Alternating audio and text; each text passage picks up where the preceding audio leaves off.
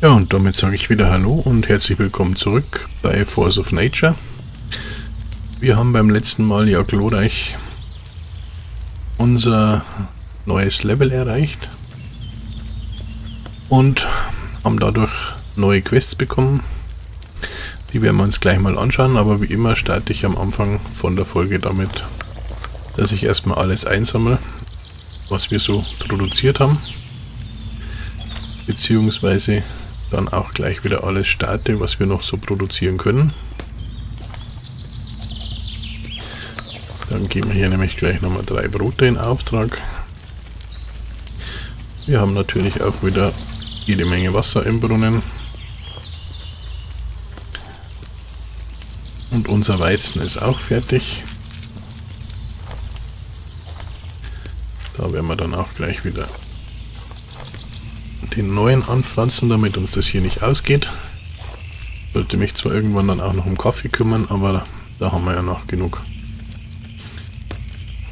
Ja, und dann schauen wir doch mal, was der neue Level so an Quests für uns parat hält. Ähm, ja, das mit dem neuen Level, das wird wahrscheinlich noch eine Weile dauern. Dann, was ich fast schon erwartet habe, ist, dass wir uns noch ein weiteres Force of Nature Stück holen sollen. Da haben wir ja zumindest schon die Anzeige auf der Karte. Das ist irgendwo da ganz, ganz hinten. Dann sollen wir uns einen Schneidertisch bauen. Das würde ich mal sagen, das machen wir. Das hat Priorität, weil ich würde nämlich auch gern mir Klamotten zulegen. Und dann sollen wir uns noch einen Goblin als Verbündeten zähmen. Ja.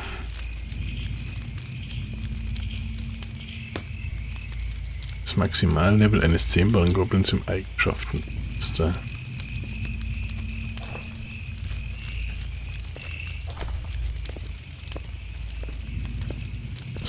Hier ja, maximal. Ja. Aber wir können also maximal einen Goblin mit Level 6 haben. Ja, gut, dann würde ich sagen, schauen wir mal, was wir machen können. Ich würde eigentlich jetzt erst einmal hier alles zuladen, was wir Dann schauen wir mal, was uns dieser Schneidertisch kostet, beziehungsweise was man generell das einzige. Wir brauchen Eisenbahn, wir brauchen Bretter und wir brauchen Nägel. Gut, das sollte jetzt das geringste Problem sein. Nägel können wir herstellen. Dann sollten uns genug Eisenbahn überbleiben.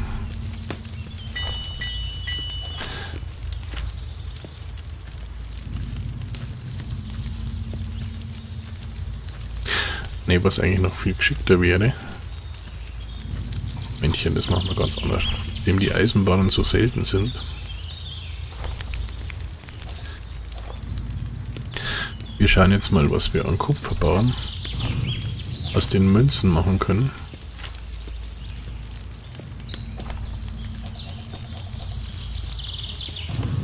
Dann können wir nämlich A, die Münzen auch für was Sinnvolles verwenden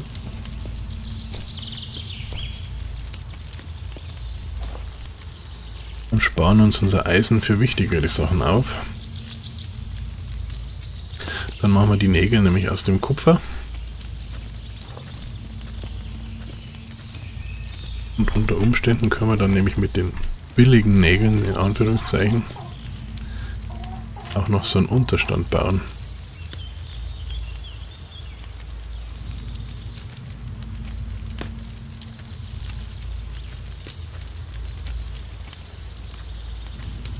Ja doch, das finde ich jetzt erstmal gar nicht so schlecht.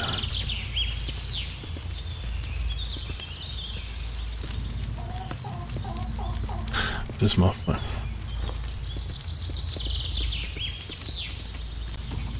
Das macht man. Und zwar macht man jetzt hier erst einmal noch eine kleine Erweiterung.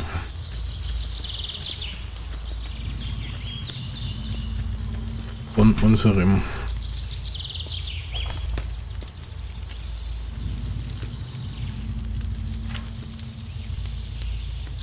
Tor finde ich natürlich auch schick.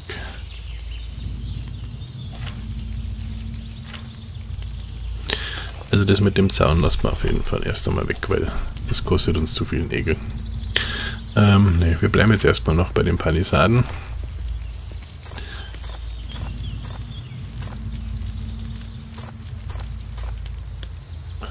Dämlich. Acht.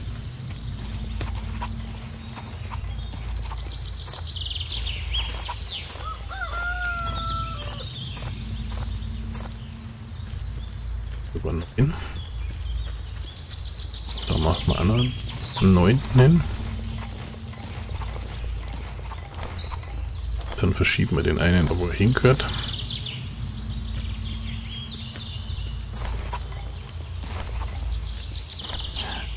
Dann verschiebt das Ganze nämlich hier noch ein Stück nach rechts.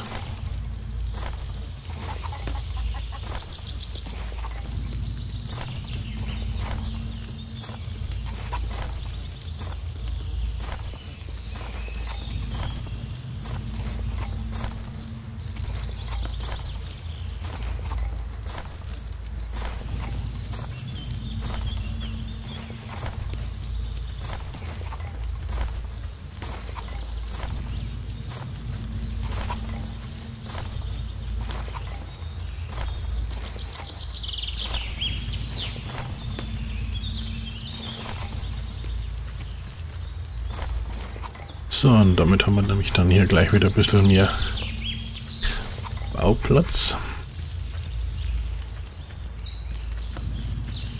Können uns dann noch ein bisschen weiter ausbreiten. Und dann schauen wir jetzt nämlich auch gleich mal, was wir hier für den Unterstand noch brauchen. Wow, 50 Ton. Und noch jede Menge Palmwedel.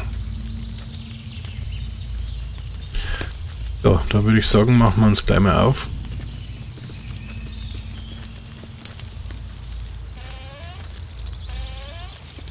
Und holen uns Palmwedel. Dafür braucht man natürlich einen Axt und nicht die Keule.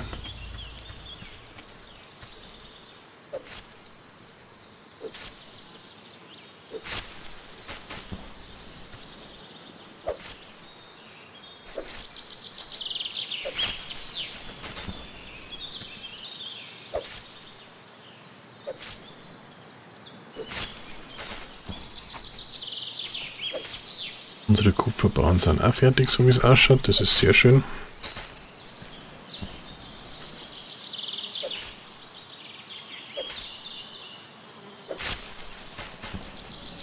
So, wie viel Palmwedel haben wir? 50. Das sollte reichen. Und dann brauchen wir noch Ton. Den haben wir Glück hier direkt vor der Haustür. Dann hoffen wir mal nur, dass wir da auch noch 50 rausstechen können.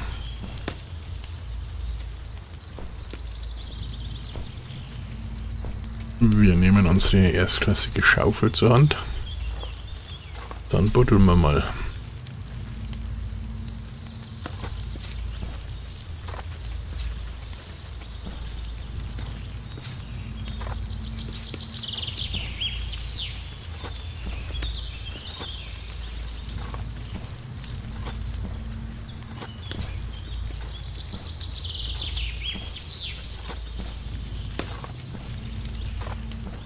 Das geht ja rucki zucki. 18 haben wir.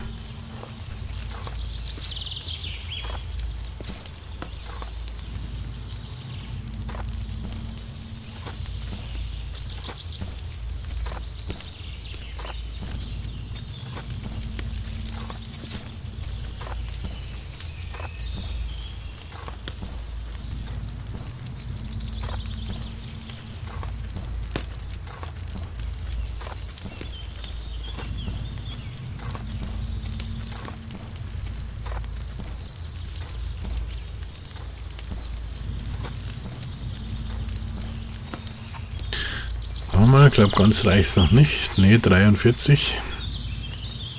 Hammer. Ein paar Sonnenblumensamen. Die.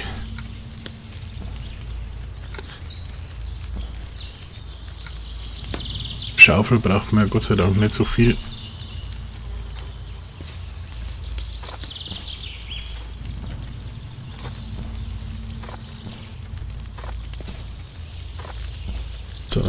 Damit sollten wir 50 zusammen haben, genau.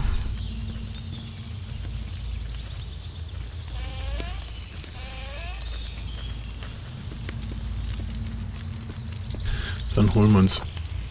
Nein. Hier mal unsere Kupferbahn raus. Und am besten hier auch gleich nochmal Kohle, weil dann können wir noch...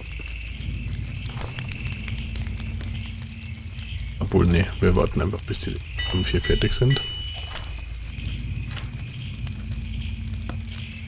Geben derweil... Achso.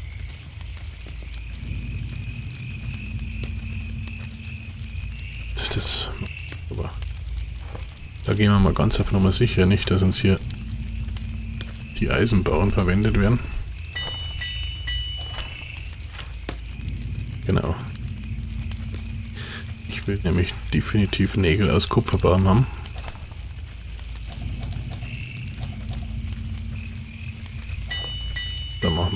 68.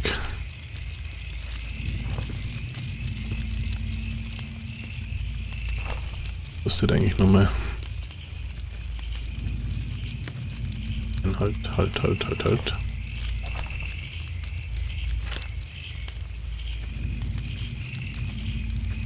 Fast. Oder eine Kiste.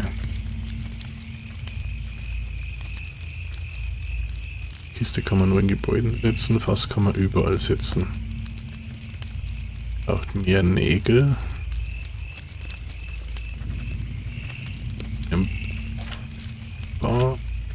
Das Fass braucht drei 20 Bretter, zwei Bauern und 20 Nägel. 20 Bretter, einen Bauern und Nägel. Ne, dann sind wir Kisten schlauer.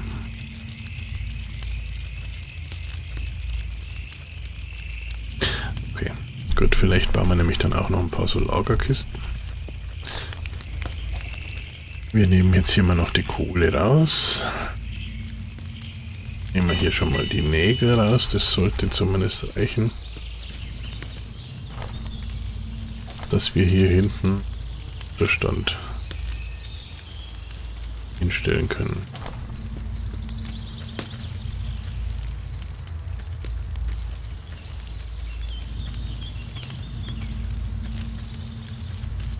Vom Hühnchen weg. Überdrehen einfach. Wir machen das anders. Wir drehen das Ganze.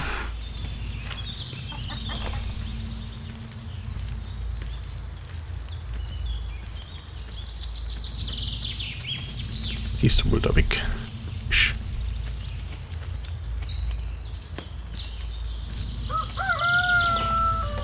Stellen wir uns hier unseren Unterstand hin. Da können wir dann später den Schneidertisch reinmachen. Jetzt gucken wir gerade für Kohle. Beziehen können wir immerhin Einfach schon wieder, dass wir was auf Vorrat haben. Dann sollte man nämlich hier auch gleich noch die glühende Asche machen.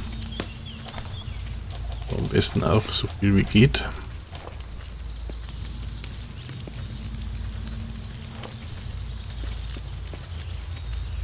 So Brot fertig. Das nehmen wir gleich mit. Das rohe Fleisch, was wir hier haben, kocht man auch gleich, dann ist das schon mal fertig. So, und dann schauen wir uns mal die ganzen Spaß hier an. Schneidertisch 15, äh Quatsch, 5 Bretter. Haben wir, 10 brauchen wir noch. Nägel und Eisenbau. Okay, das mit den Nägeln sollte das geringste Problem sein. Die müssten nämlich inzwischen fertig sein. Dann schauen wir bloß gerade, ob wir hier noch Kupfer bauen. Ah ne, können wir nicht, weil wir erst die brauchen.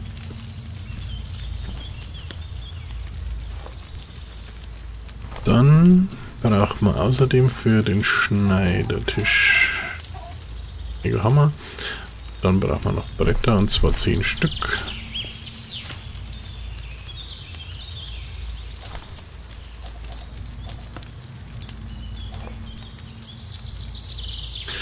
Das sollte dann ja auch relativ schnell gehen, aber ich habe schon gesehen, wir brauchen auf jeden Fall noch mehr Baumstämme. Weil wir wollen ja eventuell auch noch Kisten Programm bauen. Damit unser Zeug nicht immer hier am Boden rumliegt. Ist zwar nicht, was wirklich notwendig ist oder rein kosmetisch. Ich glaube, eine oder zwei Kisten können wir uns leisten.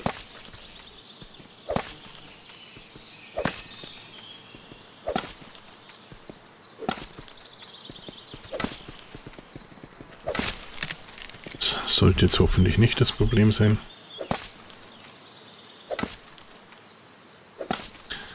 Wir uns da noch ein paar gönnen.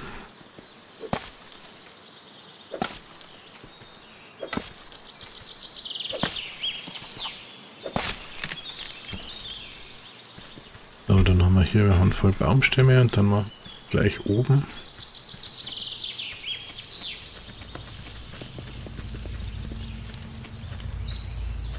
Neben unserem Unterschlupf Fackel schieben wir wieder an die Ecke. Machen wir nämlich hier gleich noch die Büsche weg, dann kriegen wir auch noch ein paar Äste.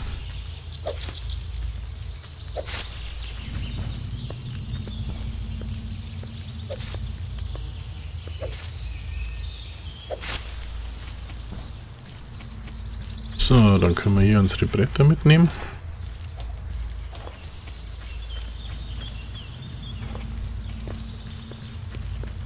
Und damit sollte unserem Schneidertisch eigentlich nichts mehr im Wege stehen.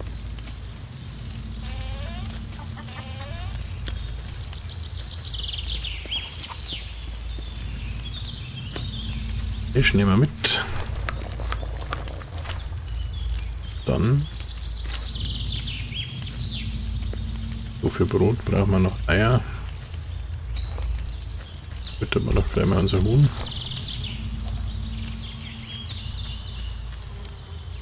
Und sowas auf.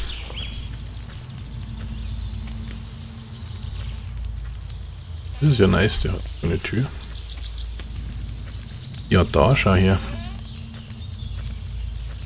So, dann schauen wir mal. Hier drin hätte ich gerne einen Eidertisch.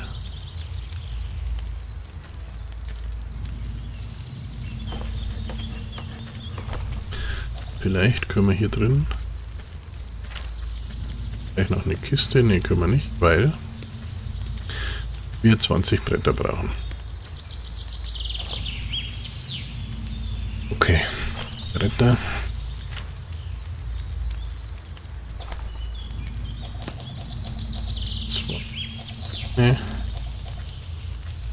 Das waren zwei. Würde ich sagen, dann lassen wir uns jetzt in den Lumpen.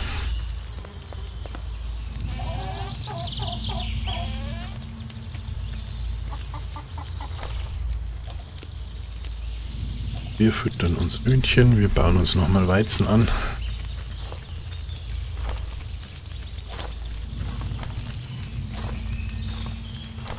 Ab und zu muss man halt einfach auch ein bisschen vorbereitende Arbeiten machen. So, aber ich wollte noch schauen, genau.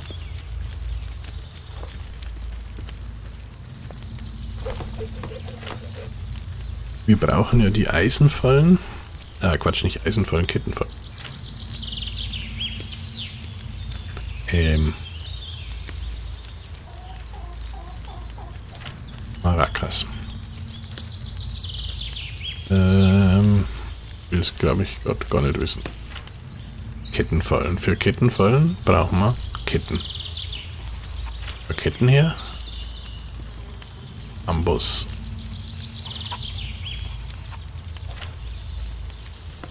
Okay. Spiegelball. Wir brauchen eine Kette für eine Falle.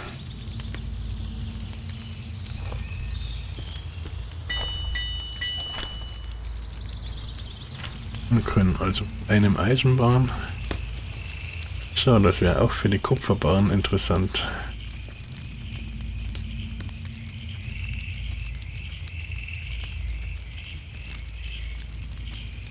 Mhm.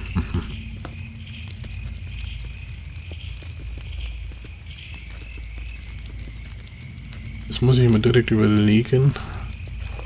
Solange wir so viele Kupfermünzen haben, wird es eigentlich fast wirklich Sinn machen, wenn wir überall, wo es geht,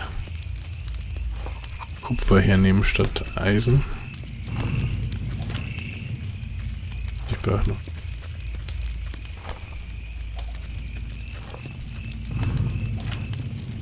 Mal nämlich noch Kupferbahn aus Münzen.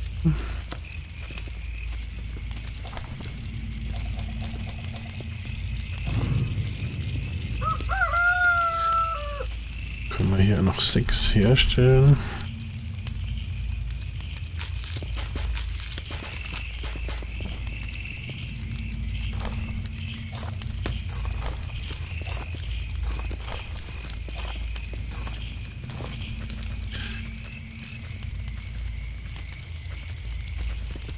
ist auch nicht.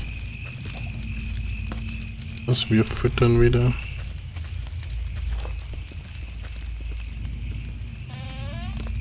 Schauen wir doch mal an den Schneidertisch, was wir da alles machen können. Eine weiße. Bringt uns die irgendwas?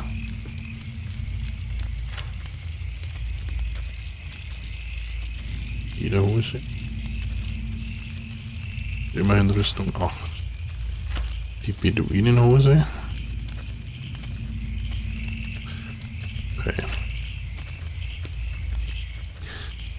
Fellhose.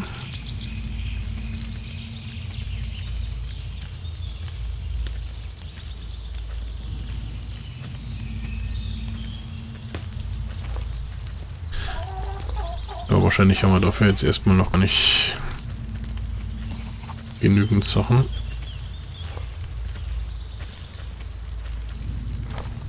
Zur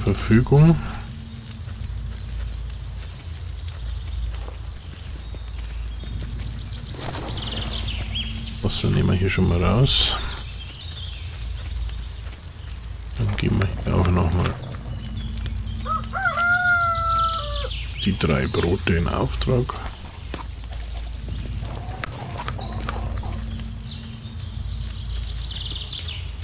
Schauen wir mal, was unsere Kupferbauern machen.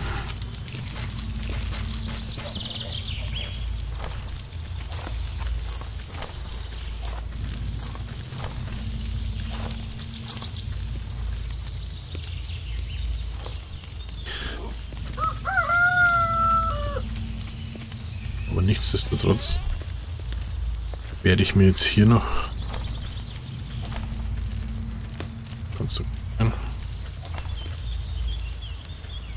da eine Kiste reinstellen. Ähm, halt da. So, jetzt eine Kiste.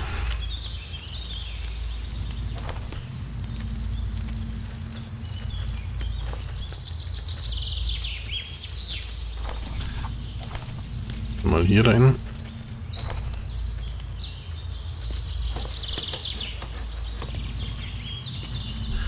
Da können wir dann nämlich schon ein paar Sachen ablegen,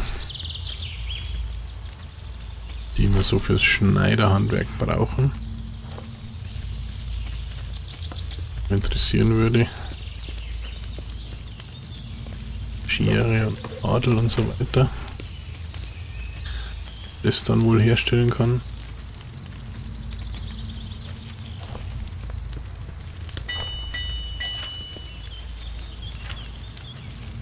Erde braucht man natürlich auch ein Ei.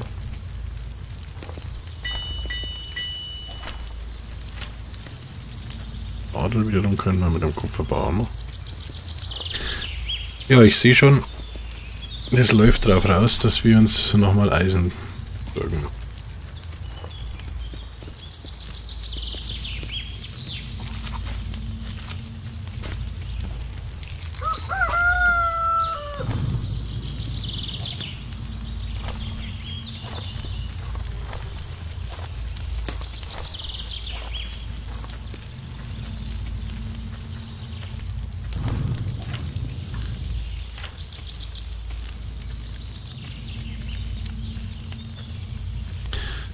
Okay.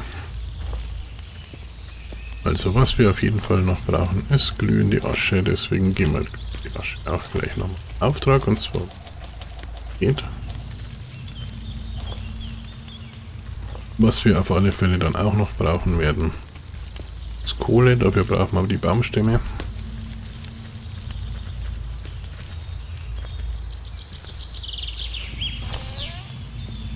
So.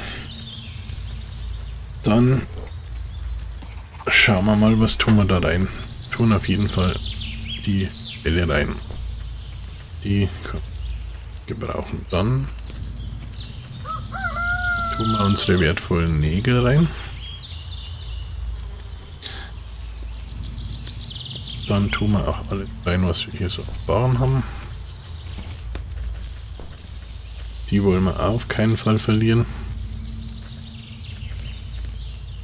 Dann wird auf jeden Fall auch noch Zähne und Klauen erstmal zwischenlagern. Genau, den Goldmünzen.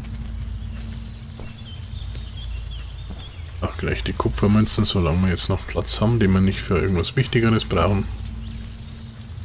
Würde ich sagen, lagern wir das Ganze einfach ein.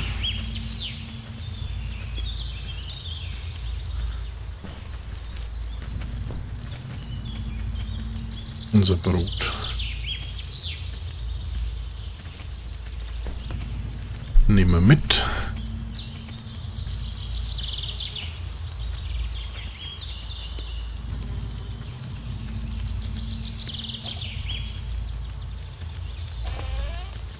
Dann lassen wir das hier erst einmal schön in der Kiste. Was wir hier draußen einfach mal noch so auf den Punkt reißen können. Das ist zum einen Stöckchen, zum anderen das Brett.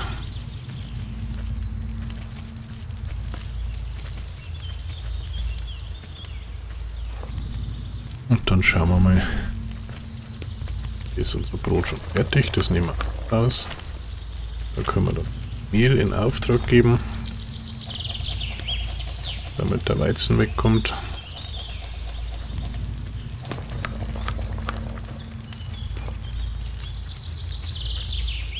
Ja, damit haben wir wieder einiges an Vorräten beisammen. Wir müssen uns auf jeden Fall noch Eisen holen. Das würde ich aber sagen, schauen wir uns dann in der nächsten Folge an. Bis dahin sage ich wie immer danke fürs Zuschauen und ciao, ciao.